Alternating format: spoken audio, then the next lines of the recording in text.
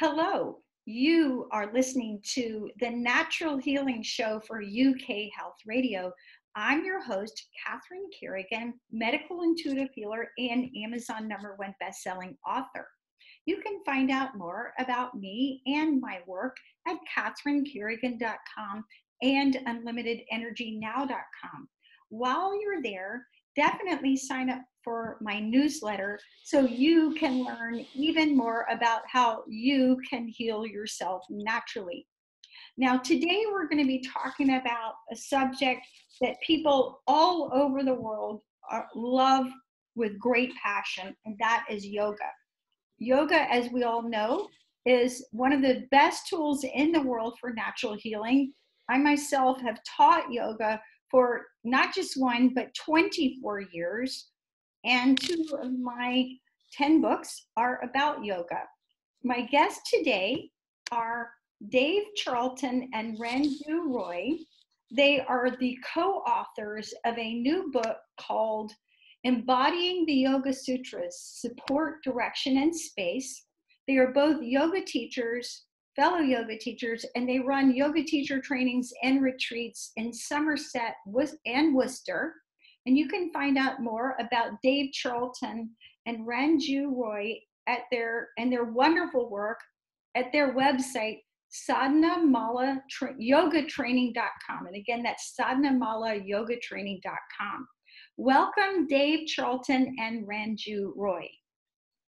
Hi, nice to see you. Nice yeah, to be here. Okay, so Dave Charlton and Ranju Roy, for our audience, what exactly are the Yoga Sutras? Well, the Yoga Sutras are a form of um, text that were written by somebody called Patanjali um, some 1600 years ago, maybe a little longer, maybe somewhere between 1600 and 2000 years ago. The, uh, the sutra form, a lot of people will have heard of the Karma Sutra, but in fact, the sutra form is, uh, is a form of text in which um, the text is composed of very short aphorisms or short statements. And it was a very popular form of composition um, in ancient India. So the Yoga Sutra, as I said, written by Patanjali, um, are 195 short, pithy statements about the philosophy and uh, practice of yoga. And um, they were written originally in the ancient language of Sanskrit, they're quite obscure and quite uh, um, they're not they're not the easiest text to understand if you just read them.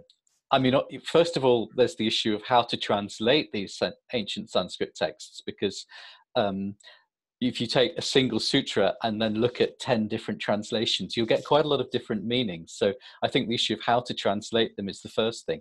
And secondly, quite often they're quite dense. You know, what does that mean? What you know, how do how do, because there's a lot behind each sutra. So the Yoga Sutras are 195 statements about yoga divided into four books, and then um, then we have the task of decodifying what exactly they're about and what that means. But that's what they are.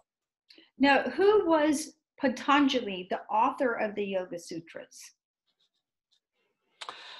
Well, Patanjali um, is really an honorific name. Um, the word Patanjali, th- this when, when you hold your hands like this, it's kind of like in a prayer gesture or a cup, cupping the hands like this. This is called Anjali, Anjali Mudra. This is the gesture of Anjali. And Pat, the word Pat means to fall.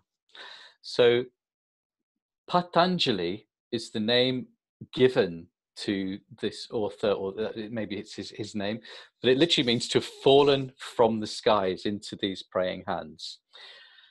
There is some debate as to whether Patanjali, you know, who Patanjali was, because uh, it's a mythological, it's a mythological name, um, and legend has it that Patanjali wrote three different texts.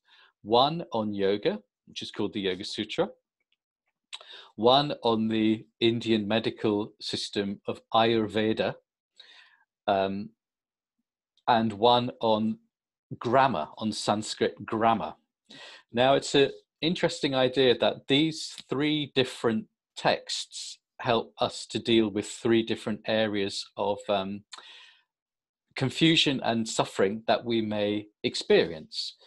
The Yoga Sutra, interestingly, is not a text about the body, it's a text primarily about the mind. So it's a kind of, a, you could see it as a psychological text. The text in which Patanjali refers to the body is actually the one on Ayurveda. So Ayurveda is the text.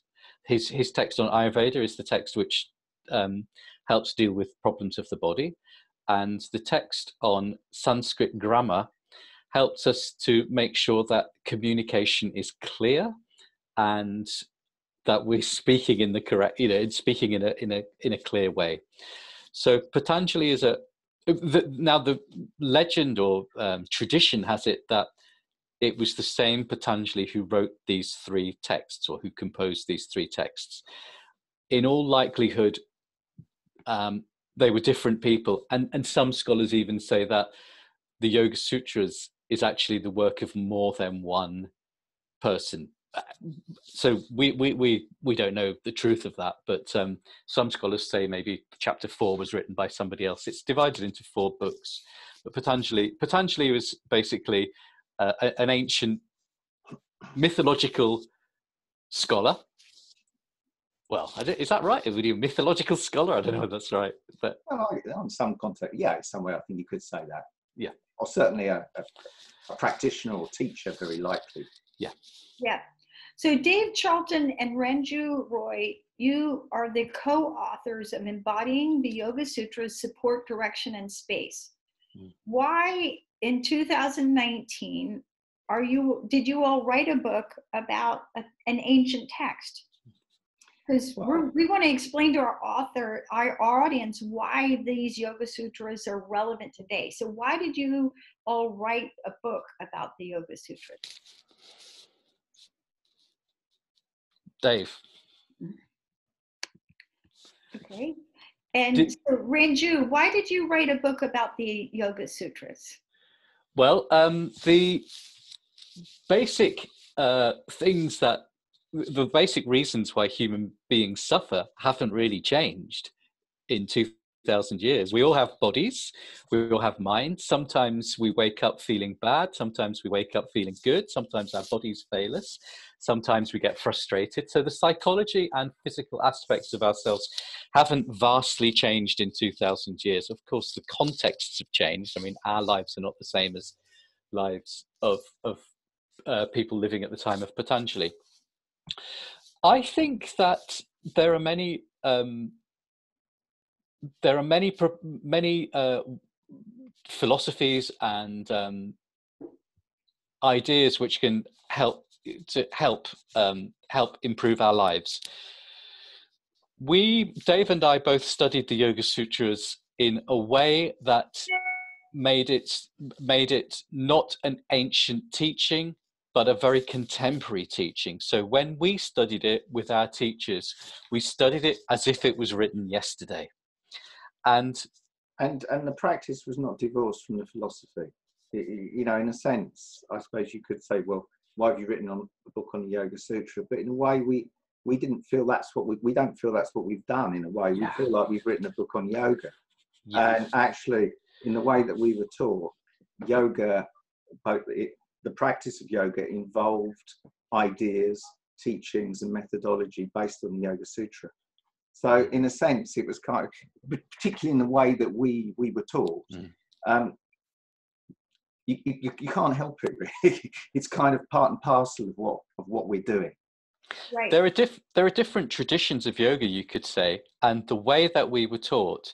Each tradition might have a sort of a source text or a or a particular not exactly a textbook, but something which is at the heart of that tradition. And the Yoga Sutra for us really was the heart of the way we were taught. Okay, so let's get into the meat of the interview for our audience, which is why are the Yoga Sutras relevant even today? So, Dave Charlton, what is your thoughts on why the Yoga Sutras are relevant even today? Well, again, certainly within the tradition that we've learned, the first thing is that they give us the basic methodology of why we do what we do.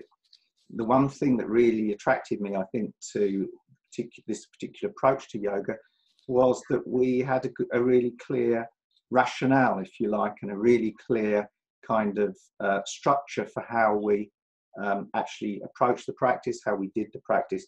And that was all referenced back to the Yoga Sutra. So, um, first thing to say, I guess, is that the Yoga Sutra uh, gives us our rationale for practice.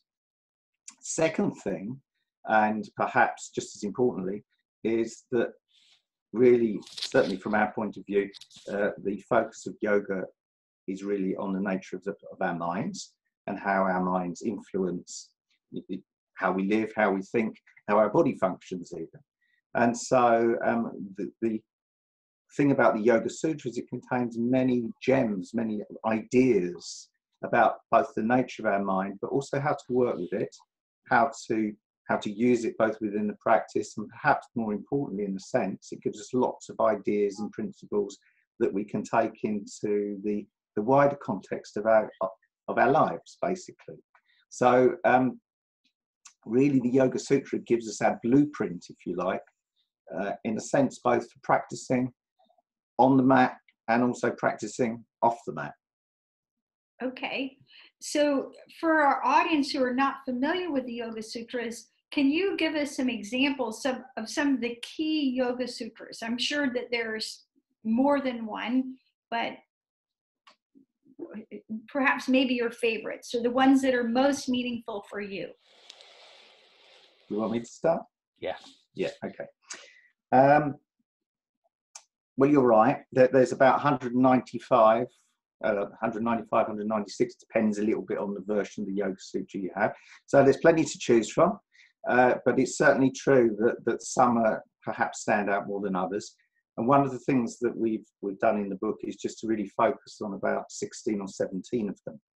Now, having said that, I would say it would be it would be useful for us in, in presenting this, but also I think it's true uh, if we come back to the second, the very the second sutra of the, the text itself, which is Yogas Chitta Vritti Nirodha, which essentially basically defines yoga as a state of mind. And that's the first thing. Um, however, audience, that would be yoga is the cessation of the fluctuations of the mind, correct? Yeah. That's one translation, yes? Yeah, it is. It is. Um, but that, in a way, that gives us our, our basic rationale for for the whole practice, and uh, in the way that we would we would um, interpret that sutra, certainly in a practical sense, in terms of practice, we would perhaps just kind of reframe that a little bit, and we translate it as it's something like yoga is the state of mind where the mind is focused and more peaceful, and we are less disturbed with um, we're less troubled by disturbing thoughts. So it it both gives us the, the basic ground we're working with, namely our state of mind. Um, it tells us something about what a state, what sort of state of mind we're, we're, we're looking for, state of mind in which we're very focused, that the mind is very clear, and we are less troubled with um, difficult thoughts. And it also gives us a way of thinking about whether the practice has been successful or not.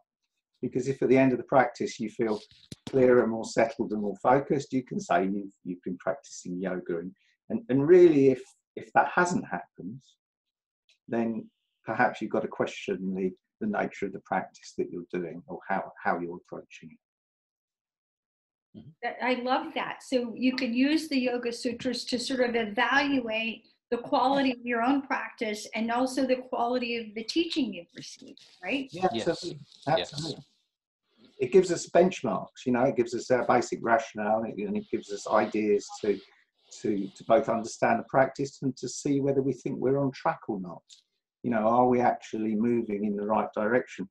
Because with all of these sorts of disciplines and practices, it can sometimes be quite a fine line as to whether they're actually supportive and helpful, Mm. or actually you can practice them in a way that actually um, you could appear to be practicing them, but it's actually in a way that somehow takes you off track or or actually leaves you with more problems than when you started.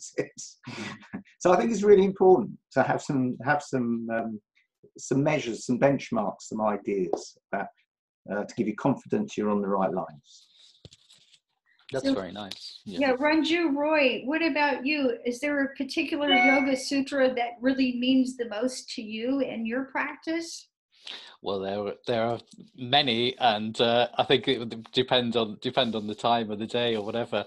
But a couple that come to mind at the moment. The first one is um, Sutra 16 of Chapter Two, which is Heyam Dukkam Anagatam, and this means a loose translation of this would be um, when you're in a hole, stop digging, something like that.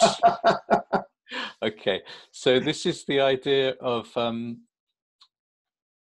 can we avoid suffering Mm, which is yet to come or Mhm. how can we uh, live our lives in a way which does not contribute to future suffering. Now there are things you know we cannot completely avoid all suffering. I mean that's just not going to happen. There are going to be all sorts of types of suffering that are on their way in different contexts. However this sutra um, suggests that there are ways that we c- a- and it's very interesting the, the actual sanskrit words which we spend a lot of time with are also important. Then they're, they're, they're different to english translations of those words. So i'm translating the word dukkam as suffering which is a very common translation. But the actual word dukkam really is, is made up of these two syllables du and ka. And what that means is bad space. You know it's a bad space it's often linked to a bad space in the heart a bad a kind of emotional bad space but there are also different um, connotations of the word dukkha now as i said i don't think it's possible if you're a human being in an incarnated body to avoid all suffering because things will impact upon us and we'll get upset or we'll we'll, we'll suffer um, physical and, and, and psychological um, pain at some point in our lives. I think it's unrealistic to believe that that won't happen. However, having said that, there are also ways that we can uh, further contribute to our suffering, and there are ways that we can also most elegantly deal with the suffering that we are dished up, if you like. So, Heyam Dukkam Anagatam is uh, one sutra which I think is very important, which also, as Dave was saying, it gives us a reason to practice. It gives us, you know, what we're doing in a sense is um, we- we're not future proofing ourselves at all, but we are contributing to um, a, a more skillful way of living. I love that. I love that. A, a more skillful way of living. Okay. Um, and again, I think the Yoga Sutras have so much wisdom. So, Dave Charlton, when you're practicing recently in your recent yoga practice, are there any particular Yoga Sutras that you're really thinking about when you're practicing your yoga? Okay. Well, I think um, what we could draw attention to is uh, Sutra 12, which is the first sutra, uh, 12th sutra of the first chapter, which talks about two essential principles, which are abhyasa and vairagya in Sanskrit. But um, obviously, we need to explain those. Um, and th- this particular sutra, in a sense, gives us the basic method that we're that we're using. In fact, um, it was quite a revelation to me some years ago when one of our teachers said to me that the basic method of yoga is abhyasa and vairagya. Everything else is elaboration, which was quite, you know, which is quite a strong statement to make in a sense. You know, it was very definite, and and actually that's kind of stuck with me really. Uh, so, so what what what are these two ideas? And um, we have the, the principle of abhyasa, which essentially means uh, practice or kind of discipline. But really, what it's recommending is that you have to do something. Okay, and you have to do something, and you have to have a practice. You have, and implied by the idea of practice is something that you need to work at. It's something you need to do over a long period of time. There needs to be a, a certain continuity about it, and you need to approach it with a certain enthusiasm and um, and commitment. I guess is the right word. That's the basic idea. However, on its own, that's not sufficient. It needs to uh, be tempered by it, its twin, as it were, which is the notion of vairagya. And vairagya is about something, the attitude that we bring to this, this practice. And it's about, um, to keep it quite simple at least, it's about approaching the, the practice with a degree of openness and um, willingness to accept what comes from the practice without being too goal oriented or without being too tight in the way you approach things or um, yeah without being too tight and tense in the way you approach things. So there's this you need to do the practice in a particular spirit in a particular way. And really this th- these two ideas doesn't matter what your practice is whether you're doing the, the asanas, the postures, or you're doing the seated breathing, or you're doing meditation, or you'd be doing chanting. In a way, the basic principle is that you need to uh, apply yourself, abhyasa, and you need to have a certain um, attitude and openness, a kind of light attitude, which is vairagya. I would say that's my, that's my, it, it, it, if I'm honest, that's my favorite. Okay, I love that. Now, when students come to you and they're new students, you know, one of the things that I'm always saying to my students is part of doing yoga is learning how to do yoga, right? and it's exactly what you're talking about, but have a practice be but being open to what is in that moment. So when new when people are coming to you for as you new students or even in your yoga teacher trainings, what are some of the yoga sutras that are most relevant, do you feel, and most helpful for people who are new to the practice of yoga? Wow. Um, I think that um, one of the most important sutras for people who are new to the to, to our teaching uh, is Sutra three six. This is Tasya Bhumishu Viniyogaha. And what this means is that yoga develops individually and develops in stages and every single one of us has a different path i know that i mean probably if if you know i'm sure as a yoga teacher yourself certainly dave and i you know if we introduce ourselves as yoga teachers quite often people will say wow can you put your foot behind your head? Or oh my god can you do the lotus posture or something like that. And um and i've also heard people say oh i couldn't possibly do yoga because i'm stiff which as somebody somebody I saw somebody saying that's like saying I couldn't have a bath because I'm dirty. to similar, you know, it's got not, you know, if you're breathing, you can do yoga. However, what you do will be dependent on who you are. So the way you would teach, or the way that we would teach uh, an 80 year old or a 90 year old is very different to the way we would teach a 20 year old somebody with a lot of time and a lot of interest we might teach them in a different way to somebody who's got a bad back and has got 15 minutes you know. So this is the idea tasya bhumishu viniyoga there is no individual um, uh, th- there's no brown belt blue belt red belt black belt. Everybody should be taught yoga specifically according to their situation and their needs, their potential, and their interest. So this is this is Tasya Bhumishu Yoga. Develop each person in, from an individual perspective. I just love that. And I couldn't agree more because no matter who we are, we always have to start where we're at. Exactly. Right? Yeah. You know, and it's funny because I'm 60 years old and I've been practicing yoga for 26 years, teaching for 24. And I, I remember when I was younger, you know, I thought, well, advancing in yoga, getting good at it is doing Yeah. all the advanced poses, like you said, Yeah. putting your foot behind your head. And Mm. now, as a long-term teacher, I feel that having being good at yoga means having a consistent practice, right? That's much more important. Yeah, Showing up. sure. Yep. Okay. So now, Dave Charlton. So let's say somebody's been practicing yoga for a while and maybe they know how to do a down dog or they know how to stretch their hamstrings and they're learning how to breathe. What are some of the yoga sutras that are going to help people develop their practice and become better yogis?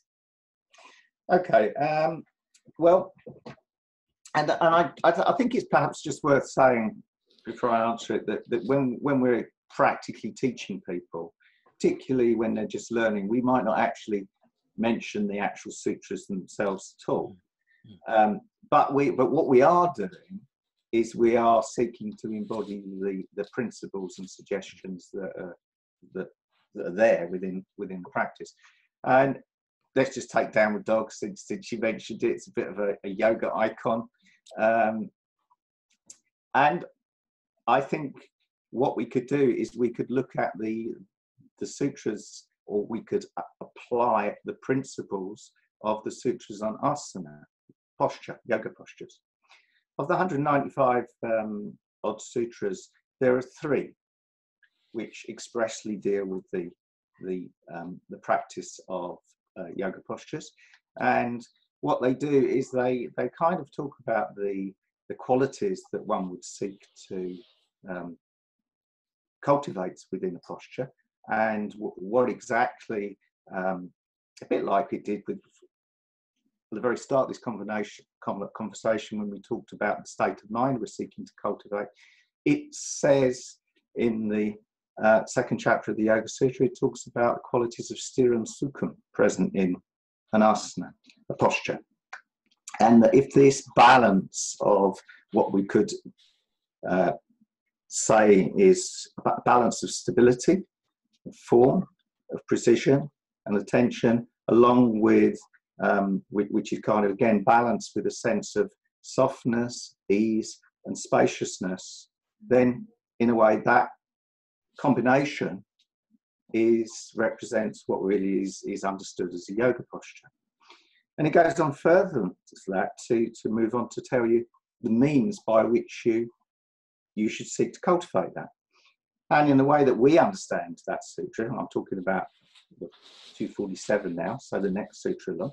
Again, there are two um, two ideas mentioned. One is called Prayatna Shaithilya, um, Sanskrit's not important, but the way that we understand it is that we have a particular, we use a particular kind of effort to loosen up and open up space in the body, both in a physical sense, but it's more than that actually. There's the space that we think about opening up is more than just a physical space. It's also a space in your head. It's also kind of like a psychological space. Hmm. And that special effort that we use in this particular approach at least is there's something very special about the way we breathe and we use the breath within the postures and we direct the breath within the postures in order to create this, this sense of opening and also a very deep and special sense of involvement in, in what we're doing. And what you discover if you study the yoga, the, these sutras that deal with practice of postures, is that in fact they're very multi multi layered. So you can look at them and interpret them in a very kind of basic way, which gives you some basic ideas. But there are kind of levels of meaning which we can continue to explore throughout our, I was going to say yoga career, for want of a better word, which gives the opportunity to um, find new levels of meaning, subtlety, and um, depth in what we're doing. Yeah, I just love that. And you know, again, I've taught for 24 years. I've signed up. I just signed up for a yoga retreat at the end of the month with a friend of mine, and I'm going specifically to study with her. So there's something about yoga that is very engaging where we can literally study it our whole lives. Mm, So, so both of you, Dave Charlton and Ranju Roy, how does studying the Yoga Sutras do you feel make you better yoga teachers? And I, I have to ask you one by one. So, how, Dave Charlton, how do you feel that studying the Yoga te- Sutras makes you a better yoga teacher?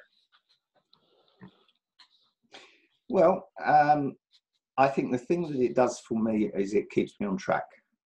As much as anything else, keeps me on track because it contains the basic principles and guidelines for both practicing and teaching. Actually, it, by implication, it has quite a lot to say about the nature of teaching as well. Um, I, I think it, it it pulls me up short on periodically to think, well, is this actually is this what they mean? Is this what I'm really seeking to achieve? Is, is this what I'm trying to transmit? Um, and it kind of brings me back to um, time and time again, actually, to kind of reevaluate how I'm uh, approaching my teaching and how I'm uh, applying the various principles and um, hopefully refining, I guess, what I'm what I'm doing and the, and the way that I'm doing it. Ranju Roy, how do the Yoga Sutras help you to be a better yoga teacher? In this world of goat yoga, beer yoga, X yoga, Y yoga, Z yoga. You know, there are so many different activities which go on under the name of yoga. So, um, for me, the yoga the yoga sutras, uh, as Dave said, you know, is a is a is a touchstone. It's a support which helps. Okay, it's a support which helps to clarify a direction both in my practice, my personal practice, and also in my teaching. The Yoga Sutra is a touchstone or a support which helps to clarify a direction, and hopefully that direction opens up a space. So for me, it is the, you know, everything we do, even if it's not explicit, as Dave said, it's not that we're thinking, oh, you know, Sutra 210 or whatever but everything that we do i think we can refer back to some idea or some concept which comes from the yoga sutras and it helps. It, it kind of feels like there's an authenticity um, it's a living tradition it feels like it's yoga it feels like it's something different to beer yoga goat yoga or whatever yoga there is it feels like there's a kind of a, a, a genuine authenticity I, I love that. I, I have to share this story. I remember years ago because I have six 200 hour teacher trainings, one 500 hour, and I was studying yoga therapy and I'd be a yoga therapist, but I'm like, nobody cares. It's like I have so many certifications. At one point, I was going to study, study dog yoga. we have to laugh about this. Only the lady at the last minute wasn't able to bring her dog on the airplane. well there you go yeah and so you know as you said there's been this explosion but the yoga sutras as you say are a common thread through all the different forms of yoga that help to inform what it is that we're doing I think for us, it's not to say that that's the only text. I mean, for other people, it might be something else, but for us, it's a touchstone which really helps us, as Dave said, to keep us to keep on track and to feel that what we're what we're teaching and what we're doing has something behind it. I mean, this is a 1600 year old text. It's been used for a long time by a lot of people, so it feels it has a certain, you know, the word. It's interesting. The word guru, the word guru, literally means heavy. Okay, guru means heavy. And there's something i'm not saying that you know i'm not saying anything. I just like the idea that a guru a, a, guru has gravitas. There's some weight there's some you know there's something substantial.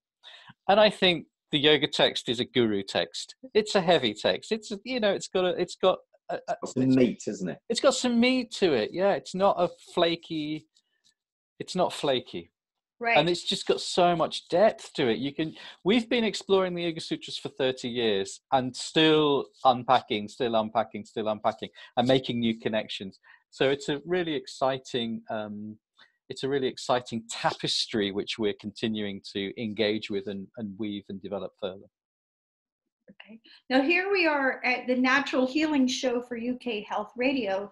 How do you feel um, that the Yoga Sutras can help us become healthier and in our healing practices? Well, I sincerely believe that every single person would benefit in a positive way from practicing yoga regularly. Whatever your age, whatever your abilities, whatever your capabilities, I sincerely believe that. Um, I think the issue is, and there is an issue actually, is um, what people need to practice an appropriate yoga practice.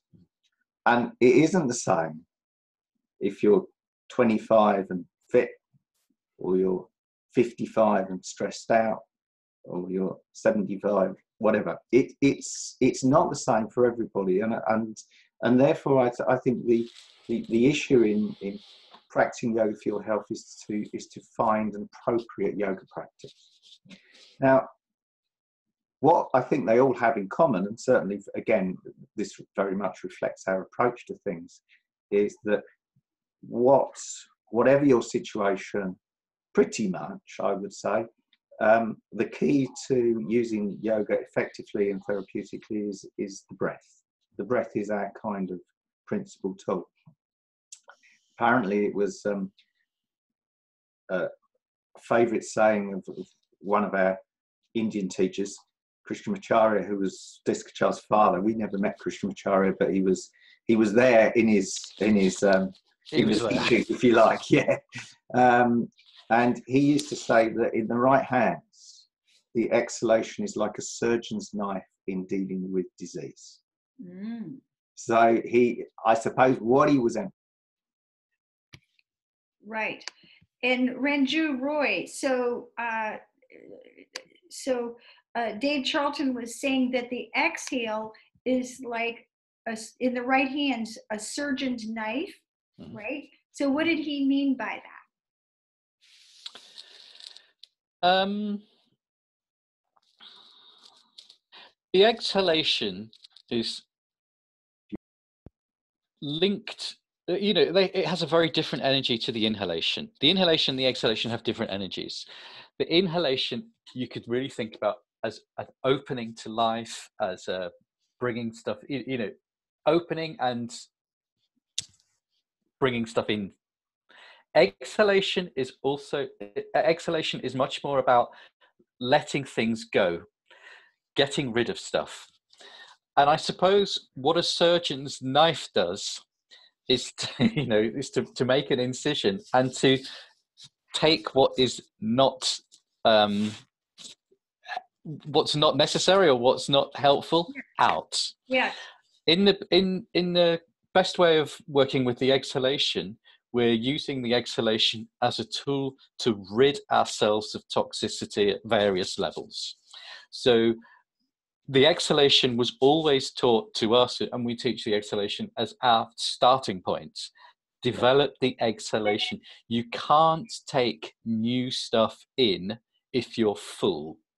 So, first thing, the exhalation is about clearing out the rubbish that's already there that is our you know before you start taking anything on i remember paul one of our teachers used to say you know if you've got a full bookshelf you know and you buy a new book well what are you going to get rid of first? So you know you can't add anything. We're already full. We are all so full. We're Yeah. so full. The exhalation is about clearing out and making a little bit of space in order to possibly receive something new. I just love that. And in my most recent book, my ninth book, The Little Book of Breath Work, I point out that people who have high blood pressure are generally not exhaling properly, right? And if you're not breathing into your belly, then by definition, you're stuck in the sympathetic nervous system. So I tell people, you know, if you don't remember anything I say, you can tell how stressed you are by the quality of your breath. And when you're Sure. breathing all the way into your belly, you're there. So, what do the Yoga Sutras tell us about breathing? Well, it's interesting about breath. I mean, just Dave said that there are only three postures, uh, three sutras which talked about um, the posture work, asana. There are there, there are also not very many which specifically talk about the breath, but the ones that do talk about the breath are very, very insightful and punchy and powerful.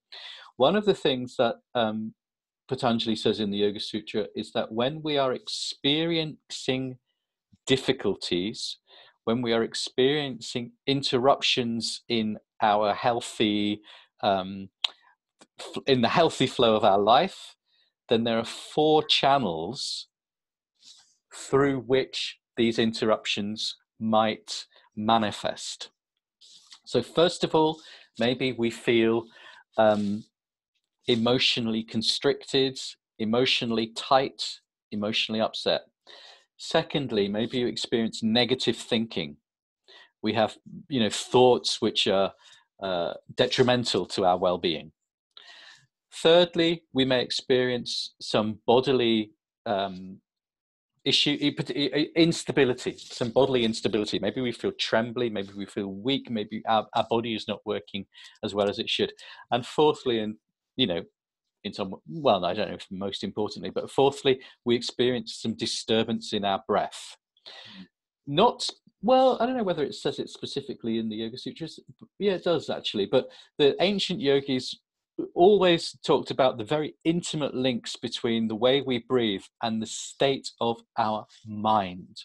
So not only is disturbed breathing a symptom of negative thinking or emotional constriction or you know some other uh, interruption or pathology that's going on one of the one of the uh, symptoms is disturbed breathing. Not only that but also controlling the breath or doing something with the breath will have a positive effect on the you know on on uh, on a kind of a negative route. So one of the ways of dealing with an unstable mind or uh, or a jittery mind is to focus on slowing down the exhalation making the exhalation a stable base and then developing on from there It's just great advice. And uh, Dave Charlton, do you have anything to add to that? Um, I, I, I would. Um, what I would say is specifically that what we feel is that um, the use of the breath should be central to all we do in yoga. Um, so, in the way that we practice both postures, which, let's be honest, is the, the, the bit that most people do most of, um, particularly in a modern context at least, that, that, that's for sure, is that um, that's why we really emphasize the importance of good breathing within all of the yoga postures. In, in many respects, I often think of the yoga postures as, well, I think of the, the practice of yoga postures as breath exercises with movement rather than physical exercises which you use the breath a bit if that makes sense. I would like to put the breath at the heart of the heart of what we do. Um, and i think if you do that uh, it it can transform your your your sort of practice of, of the the physical postures. Um, even if you don't go up even if you don't get around to or go on to uh, do more specific breathing exercises. So let's put the breath at the heart of what we do. That's what i would say. Okay, so Dave Charlton and Ranju Roy, I'm going to ask each of you the same question as we conclude. Dave Charlton, why do you think the Yoga Sutras are relevant today? um, because basically we haven't changed. Uh, the nature of, of human beings it truly hasn't changed very much. We, you know, our minds are, um, are essentially the same. The text is an incredibly insightful text on dealing with the, the nature of our minds and, and how that works and how we can work with it in a positive way. And um, that hasn't changed in 2,000 years. So it's good advice and it stood the test of time. Ranju Roy, why do you think the Yoga Sutras are still relevant today? Because the Yoga Sutra presents a really clear model, which is very similar to the Buddhist model, which is that first of all, the reason why we start the reason why we start practice, the reason uh, the reason why yeah why most people start suffering uh, practice is dukkha suffering. Says that's the first step acknowledging where where and why we suffer. Then it says that there is actually um, a reason for this dukkha. There's a reason why we suffer and it addresses those reasons. Then it says there is an end of suffering. There's a possibility of finishing that suffering. And finally he elaborates a path out of the suffering. So it's a kind of a four step model acknowledging your suffering looking at how we're perpetuating that suffering and continuing to contribute to that suffering, considering what the end of that suffering is, and then thinking about, well, how are we going to get there? What's the path? And potentially lays it out beautifully. Beautiful wisdom. You've been listening to the Natural Healing Show for UK Health Radio. I'm your host, Catherine Carrigan, medical intuitive healer and Amazon number one best-selling author. You can find out more about me and my work at catherinecarrigan.com and unlimitedenergynow.com. I also want to point out that while you're signing up for the newsletter learn out even more about how you can heal yourself naturally, if you go to unlimitedenergynow.com, you're going to find a whole bunch of free yoga videos showing you how to do the postures. And also, there's videos on how to do breathing exercises that I call eight minutes to inner peace. You've been listening to the authors Dave Charlton and Ranju Roy. They are the co authors of the wonderful new book, Embodying the Yoga Sutras Support, Direction, and Space. This book will help you to understand why the Yoga Sutras are still relevant to you today. Uh, Dave Charlton and Ranju Roy teach yoga in the west of England and Somerset and Worcester. And you can find out more about Dave Charlton Ranju Roy and their wonderful work at sadhanamalayogatraining.com. Thank you so much for listening. And remember that a yoga practice and a breathwork practice are profoundly healing on all levels. Thank you so much for listening, and we'll see you next time.